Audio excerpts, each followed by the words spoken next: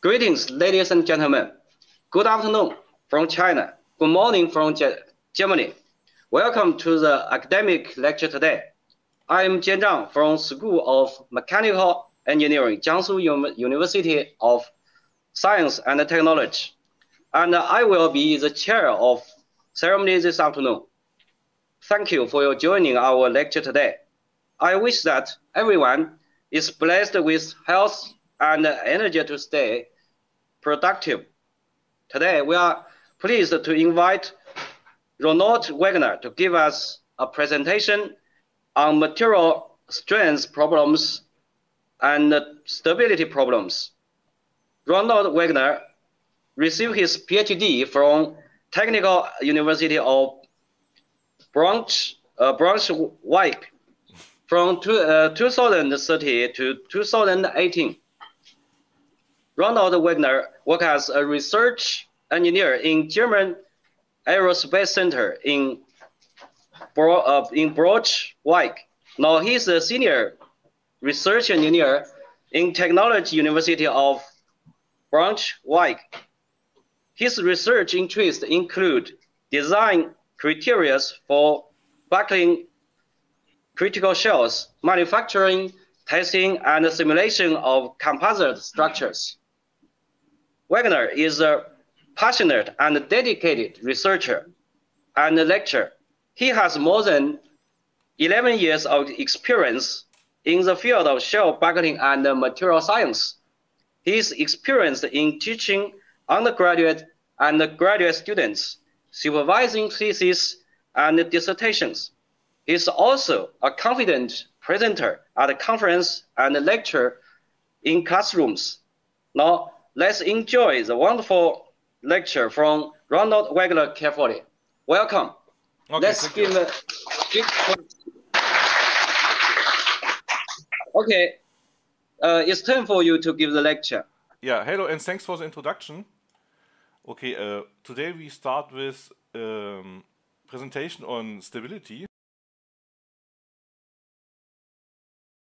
We have like three different kinds of stability problems. First we have like beams, as you can see here, then we have plates and shells. And the presentation you are looking at today will focus on shell, shells here. And you can see already that uh, the difference between plates, beams and shells is that we have here different load displacement curves. And if we exceed a certain point, this uh, white dot here, the critical load, then beams and plates can still carry some load, but with reduced stiffness. In comparison to that, shells don't carry any load after this point is exceeded and they basically lose a large amount of their uh, load carrying capacity, which is also shown here, like in detail. And we call this point here basically the buckling load. And um, the minimum point after buckling is uh, occur has occurred, then this point is called a post-buckling load. It's basically the load after the shell has failed. And now I have some examples uh, how it looks like in real life. And you can see here always are some of the uh, references. So we have here like a large tank structure which failed due to uh, thermal differences. Then we have here a wind support tower which buckled due to uh, extreme wind loads. Then we have here a silo and a storage tank which buckled due to um, external pressure. And then I have also prepared some short videos which are very nice. Um, let's take a second and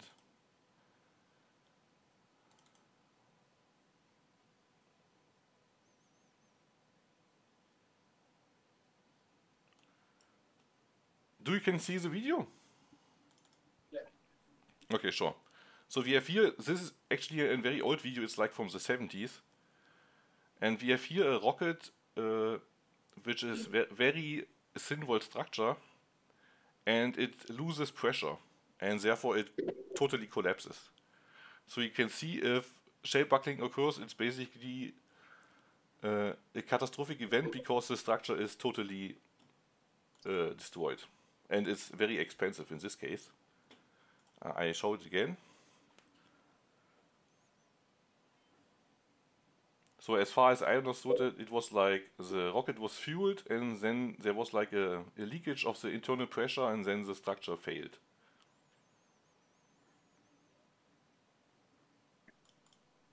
Okay, and, then I have another video, which is uh, more recently. It's from SpaceX. Here we have the same problem. You can see here the buckling occurred and the structure completely collapses.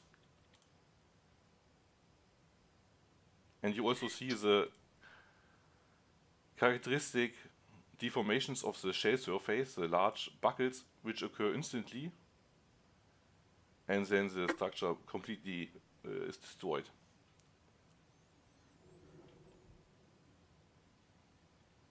Okay, that's um, the examples. Okay, and then let's go further in the presentation.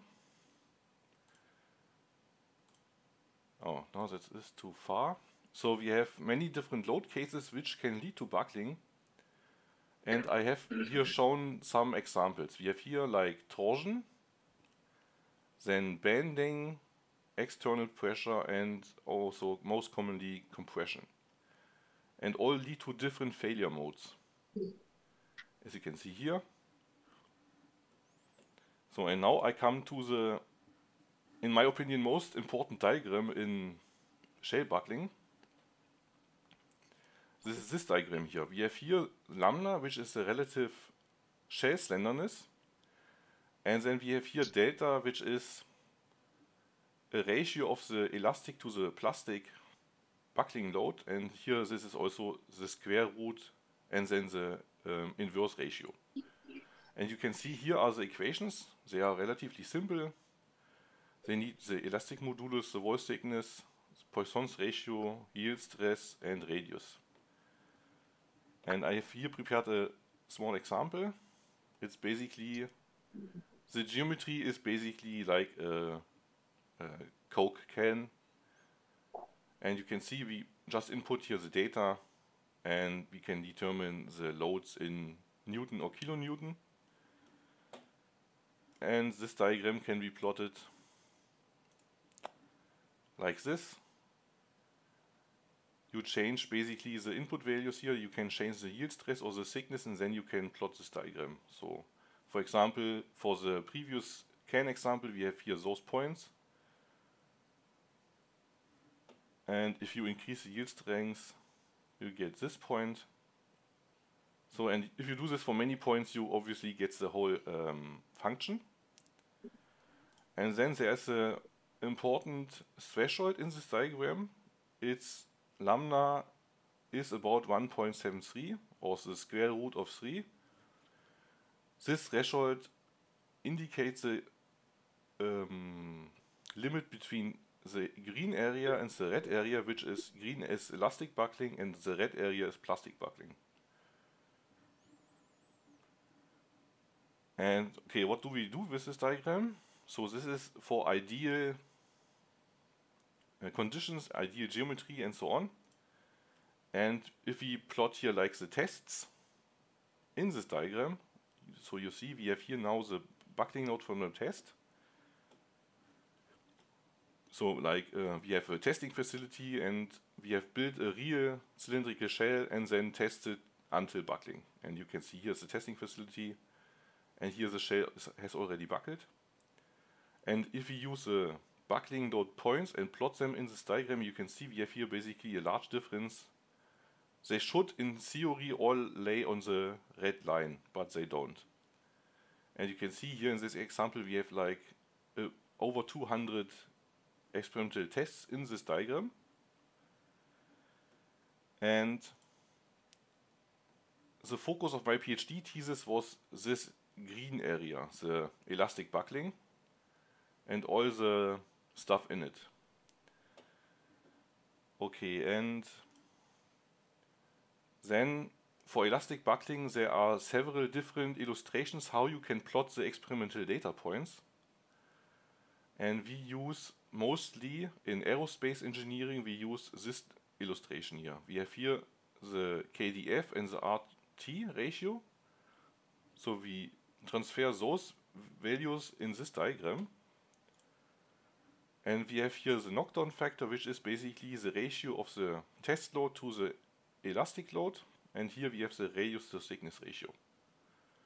So you can see that here in this area we have relatively thick shells, and if we increase the R to T ratio, we have thinner sh shells.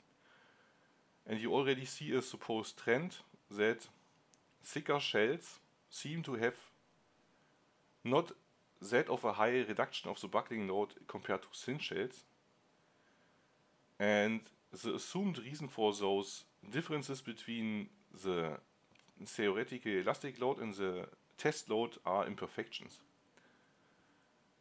And here I have some examples what are imperfections. So there are basically two different kinds of imperfection which we have. For example, we use our test structure. Here it's built and then the test structure is um, scanned in using like optical systems and then we get a cloud of points. And then if we scale those points, you can see that the supposed perfect cylindrical shape is some kind, somewhat um, deviates from the perfect cylindrical roundness, let's say. So we have shape deviations, which are classical geometric imperfections. And then we have also most of the time stiffeners in a shell. And also welds because we have like panels which are welded together. And what we also most have is cutouts. And if we don't have welds, we have like riveted joints. And then the final point is in real conditions or in the testing we have uneven loading or a combination of loading and so on, which is most often described as loading imperfection. So now what is the problem on this um, imperfection stuff? So we have the buckling load reduction, which depends on the imperfection. And in this case we can scale the imperfection to different things. We can change the shape of the imperfection, as you see here. And then we can also change the position or the amplitude of the imperfection. And these are all uh, important points which we need to consider and as you can see here in, for example, this diagram, if you have to consider so many factors and don't know what to use, you get basically an infinite amount of um, design buckling loads you can achieve. And that is not helpful because we want a simple way to get a reliable design method in order to design such structures. So, and how is it used today? How are uh, shell structures designed in aerospace engineering. Basically, they have used the available data points and used like a curve fit, which is commonly known as the NASA SP 8007, according to this function. And then it works like this. We have basically a, a shell structure. Then we determine the radius to thickness ratio and then we go in the diagram, we use this radius to thickness ratio and determine the corresponding knockdown factor. And then we multiply this, this knockdown factor with the um, linear buckling load. And then we have our design load. And because those data points are already somewhat old, and this procedure uh, looks kinda um, desperate, there is probably uh, an overly conservative design. So, and what is a promising or promising research uh, approach is this is a single perturbation load approach or short SPLA. So how does it work? We have basically here our shell structure in a simulation or also in a test. And then we apply a point load in the middle of the shell, and then we determine the buckling load. So we have a perturbation load and determine the corresponding buckling load. And in detail it looks like this. Here was um, here's the same diagram but with points from a test. The black line are tests on a real structure and the red line here is on a perfect structure in the in a simulation. And you can see here for a perturbation load of 1 newton, so we have 1 newton which is applied to this shell and then we de determine the buckling load, which is this point, here this point. And for 5 newton it is a reduced buckling load, so if we increase here the perturbation, the buckling load reduces. And if we are, for example, at 11 newton, we have uh, a special behavior where we have first local buckling. These are the green points here. This is local buckling, and then afterwards it's global buckling in the simulation. Yeah, and as you can see, if we exceed a certain point, we have only global buckling again, here at 20 newtons. So you can see that important points we have the structure which buckles. Uh, if we increase the perturbation load, the buckling load reduces, and if we increase the buckling load until a certain point, then the buckling load is constant. And this was long time a mystery. Uh, why is the buckling load constant although we increase the perturbation? And you can see here basically the, the mystery solved. You can see here the membrane stresses of the shell. And if we are, for example, here at 11 newtons, or here 20, you can see that here in the in a large area from top to bottom the stresses begin to um, converge to zero. It's here more uh, pronounced. That means that the shell adapts a special um, stress state where the stresses are about or approximately zero in a large area. And because the stresses here are zero then, we can further increase the perturbation load and it doesn't basically reduce the buckling load any further because there's nothing to reduce anymore. So that is the reason why the buckling load here is constant. And then another point is, so here is again, um, oh, summarize the last uh, slide. And another point is that um, you can see here in this area we have like the local buckling points and the global buckling points.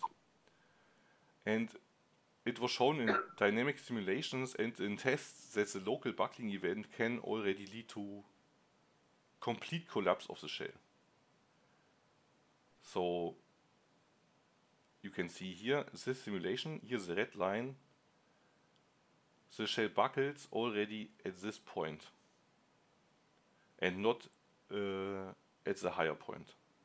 So this is an important design implication because it means that for design we use here the minimum local buckling load and then the buckling load is constant due to the special membrane stress state which was shown in the last slide.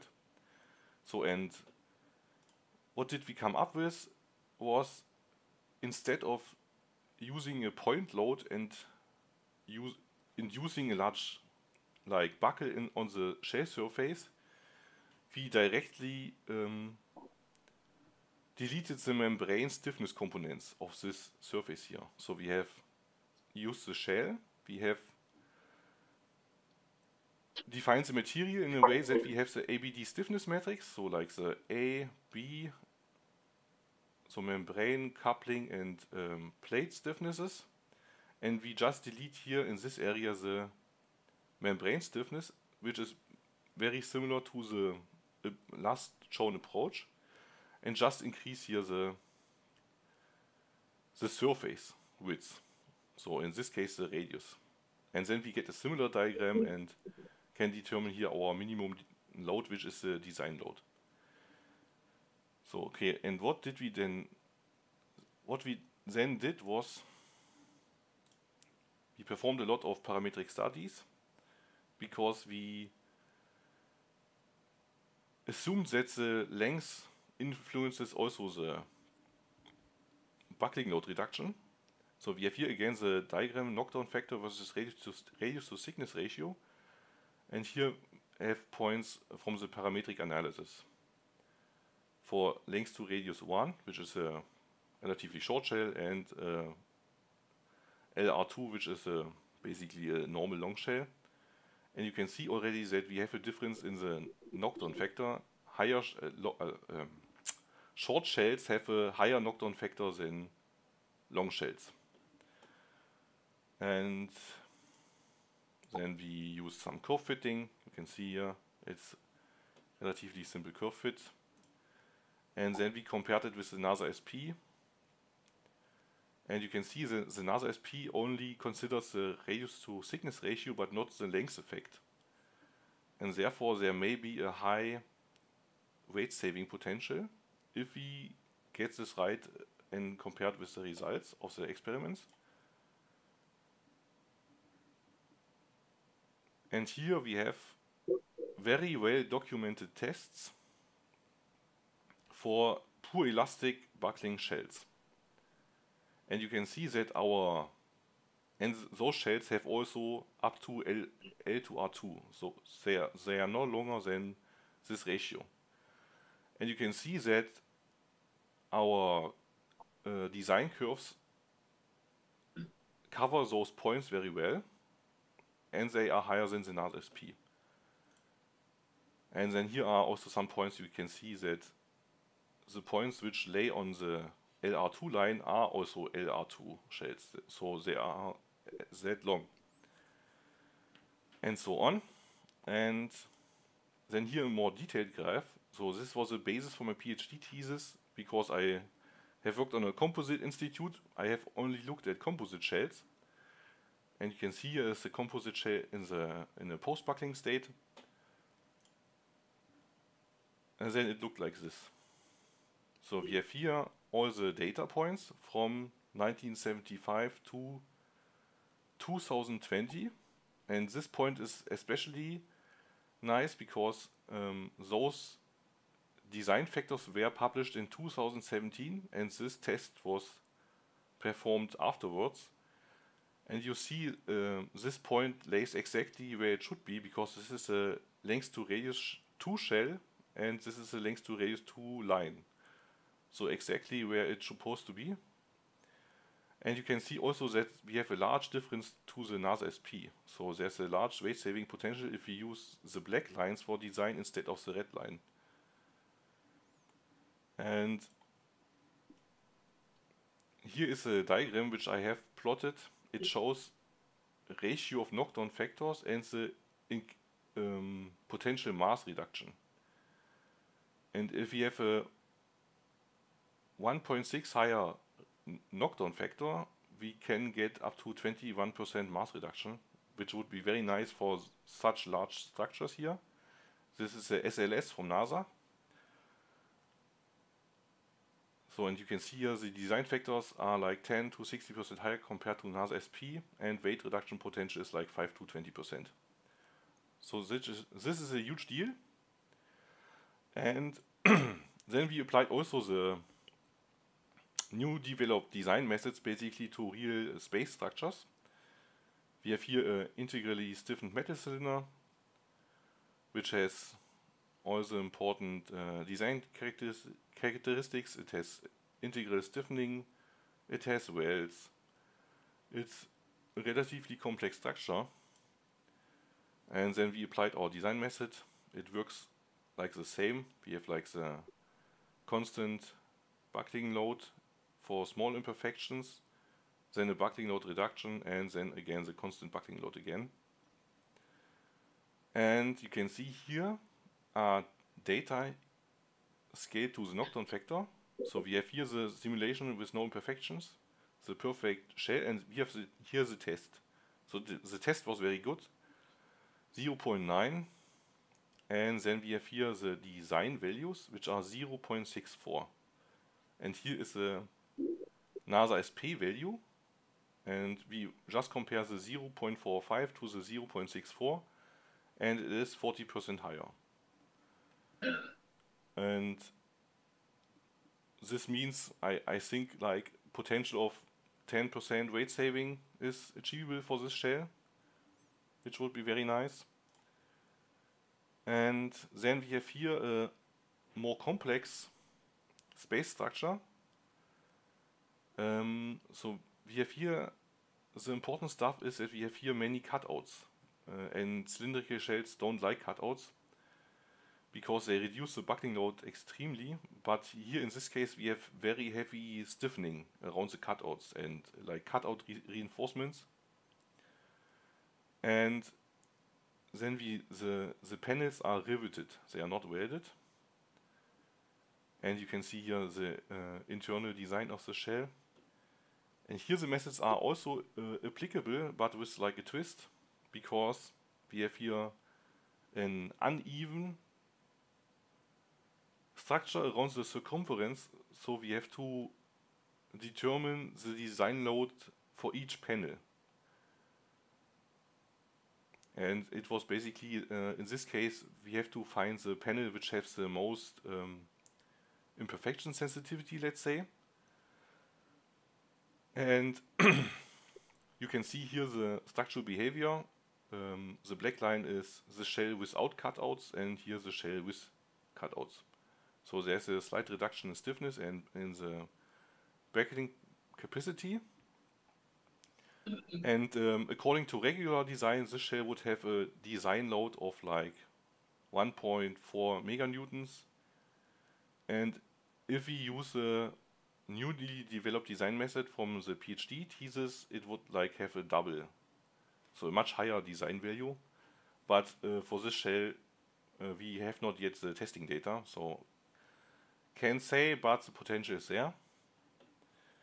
Okay, and um, lastly, I want to show um, shell buckling example. I don't know if they are in China so common as they are in Germany, but they stand everywhere. Uh, like the they are the wind turbine towers, and those are actually also buckling critical structures. You can see here the parts they are unstiffened cylindrical shells. And they can buckle. And then it's basically uh, game over for the structure. And like for all real examples we don't have only axial compression we have here um, a combination of loads we have here like um, moments uh, then wind forces. We have the self weight so basically gravity load. We have torsion. So we have not only axial compression, we have like bending moments, torsion and shear forces and so on. And this is an example tower, 36 meters high, and the thickness varies from the top uh, to the bottom. At the top it's relatively thin and then the thickness increases if you go to the bottom. So and now I want to show like an example how would uh, basically a design engineer tackle this problem. First, we would again use like the simple equations to determine the buckling load. And in this case, we use here the thickness. But as I have shown here, the thickness varies. So uh, we would use the minimum thickness. Because the minimum thickness is um, relevant for axial compression and bending. So we, we use here the minimum thickness and determine the loads and we would only do axial compression first. Then we would again go to our diagram and check if it's plastic or elastic buckling. In this case it's obvious it's plastic buckling. And then what we could do to design the structure is we could use our empirical data and go to our, we use our relative slenderness of 0.75 and choose basically a point which is corresponding to this value and use a lower value. And then we could use those this value for design. But what we could also do is we use our design methods which we have developed and basically take uh, use a point load or reduce the membrane stiffness and determine our characteristic diagram and determine the corresponding load. And you see already, if you use this approach, we get a higher, 70% higher design load than if you use the empirical approach. And then I have here shown like different analysis types which I have performed. Like so, here is a nonlinear FEM model with a variance thickness indicated by the um, color pattern here. So we have different thickness values here. And then we have performed a linear bifurcation analysis, like a linear buckling analysis. These are the elastic, uh, the analytical equations. So you can see that the LBA and the inelastic is basically comparable and you can see also the structure has a variant thickness and we use the minimum thickness those values are close so that means our FE model is not that bad and here's the same the N plastic and those values are comparable and you can see they are also very close so you can then verify your FE model with analytical equations and see that the model is not that bad. And here you would have basically the design load. So this was for axial compression. Then we would do the same for bending. You would determine the bending, the buckling moments. Use here this equation for elastic buckling. Then you get like mega newton meters. And for plastic buckling you get this value.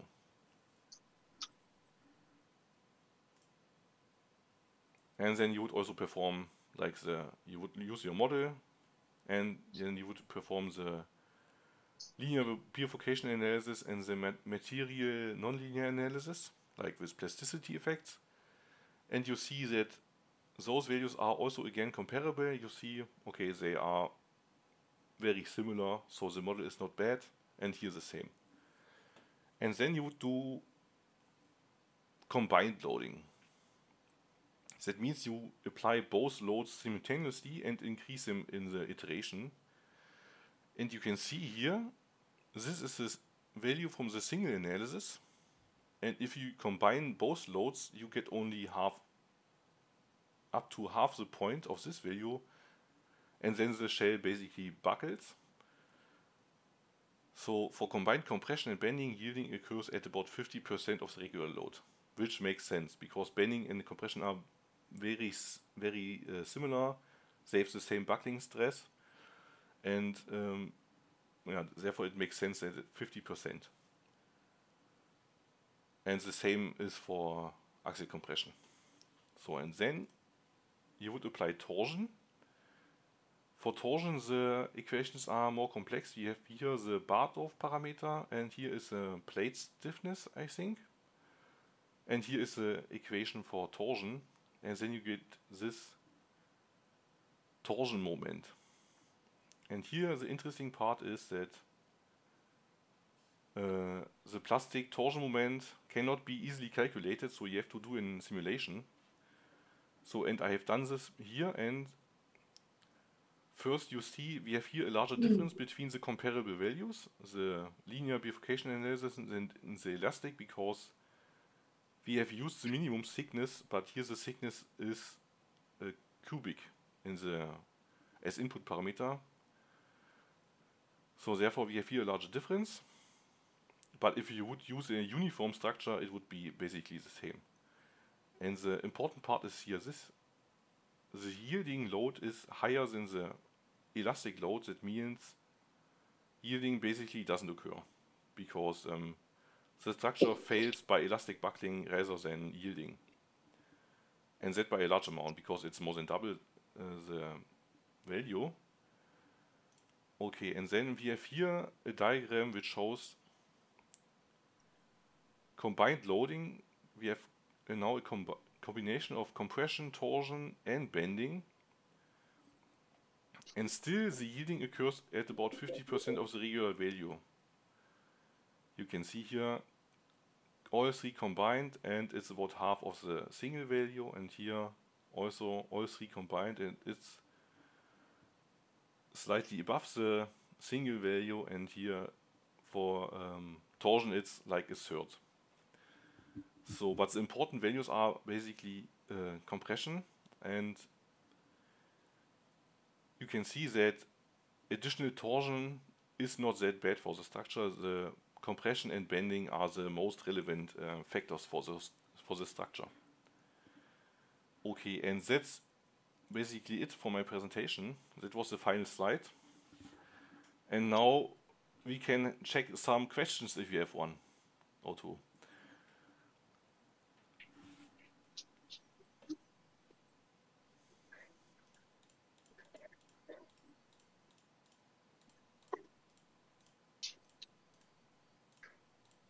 Okay, thank you very much for your excellent presentation. From the presentation, we have seen many interesting and detailed works done by you. We are looking forward to have some opportunities to communicate more deeply in future. Now, is there any questions for Ronald Wagner? Okay. Wait a minute, please. Mm -hmm. One, one question from a graduate student for you.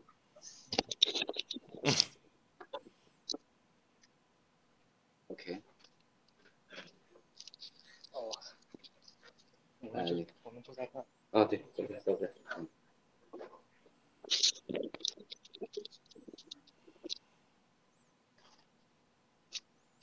uh, hello, Dr. Ronald Wagner. I understand that you mainly study the buckling of various aerospace shells under axial compression. Yes. Composite materials are widely used in the aerospace field. Can you introduce introdu in, in, introduce some new development of composite materials in the field of shell buckling? Thank you. So the structures I was working with were those structures here, so monolithic CFRP uh, cylinders. And um, here the, the the only factor which differences basically the the structures is the, the layup is different. So the um, you can live like um, 45 degree angles or 90 degree angles or 0 degree angles or 60 degree angles and they have all different variations of the angles and may and the, the thickness de, uh, deviates. The material is always the same. So um, the the only new part which I did during my PhD was that I uh, have run like um, optimization studies to find a laminate stacking which has a, a high buckling load and a minimum imperfection sensitivity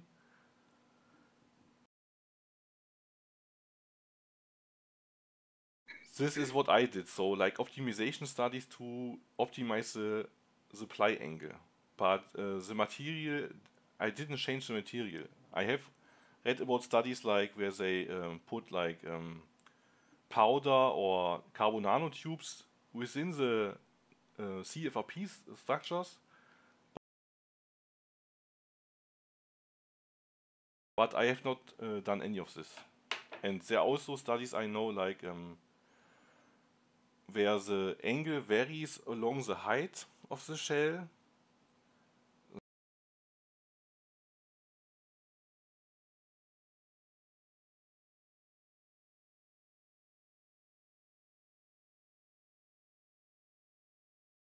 Maybe in future, we will invite you for another lecture about the composite material buckling.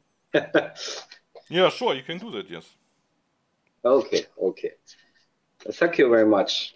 Is there any other questions for the online scholars who want to have uh, some questions? Not only from uh, Jiangsu University of Science Technology, I see that some uh, scholars, online scholars, are from other universities. Is there any questions? If you have questions, you can uh, you can turn off the the voice uh, and uh, speak directly. Uh, can they also uh, ask questions in the chat? I think. Uh, yeah, yeah, yeah. If they have questions, they can ask. Maybe for Chinese scholars, they are shy, not just uh, as the foreign scholars. They are very active. Yeah. Maybe if we held, if we hold more than one lecture, maybe we can attend 10 lectures. You, you can uh, ask questions and just like foreign students, right? Yeah, sure. Okay. okay, thank you very much. Uh, maybe they get questions afterwards and can send the questions per, e per email. It's also uh, yeah, yeah, yeah. Uh, please provide your email. If you if you have some question, you can directly write email to the Dr. Ronald.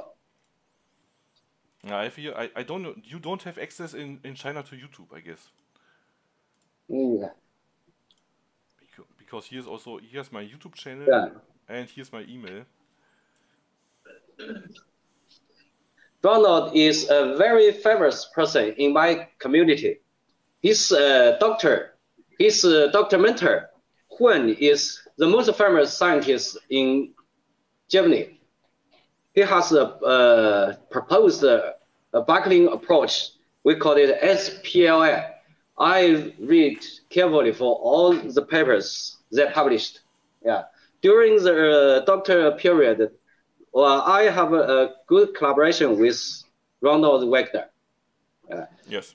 I see from uh, from you, uh, Dr. thesis, one chapter we collaborate well with each other, and after that we published uh, we collaborated with published uh, at least at least four papers, scientific papers. Yeah. Yeah, this is actually our, our paper is actually uh, one of uh, my, yeah, my yeah. most favorite because I, lo I love your on your experimental work here. I love this diagram. Yeah, yeah, yeah. yeah. This is I'm very happy for this uh, collaboration. Yes. The shells, the, the picture shells is provided by my research team. Yeah. yeah. Those those diagram, those shades are all by um, Professor Zhang. Yeah. As far as I know, Wagner is the most uh, intelligent person in uh, our community. We should uh, act. He act as a role model for uh, our future study, especially for our undergraduate students. So in future, we should learn from Dr. Wagner. It's uh, particular for his spirit, spirit perseverance, and hard work. Okay? Yeah. Thanks. If, if we have no questions, uh, we can end this presentation. I hope that uh, when the new virus is not serious, I will invite you to China. We can have a face-to-face communication, okay? Yeah, I would gladly come, yeah. If the, uh, the virus res restrictions are not that bad, they are very bad at the moment. Yeah, I'm longing for that moment. Yeah. yeah. Thank you very much. Yeah, I also thank you for the invitation. It was very nice, and I have not spoken for before so many students in, in a while because of the COVID restrictions. So that's very nice that also the students attended too. Thanks for thanks to you. Okay, okay. See you next time. Uh, I have Goodbye. one. I have uh, one question. One final question. Okay, okay. Uh, can, uh, I have uh, made a video recording. Can I upload this video to my YouTube channel? This lecture which I gave. Uh, yes, we, we have downloaded your, your video and learn it carefully. Yeah. Okay, then I will upload yeah. the, this video to my YouTube channel. Then I have the yeah. lecture. You, you, you did a good job. Okay. Yeah. It is a good learning materials for our graduate uh, graduate student. Yeah. yeah. Okay. Yeah. Thanks. Okay. Yeah. Thanks a lot. Yeah. Yeah. And goodbye. Yeah. Goodbye.